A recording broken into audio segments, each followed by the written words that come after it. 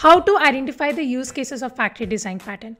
Whenever we are creating objects that have similar behavior or are closely related, we can use factory design pattern.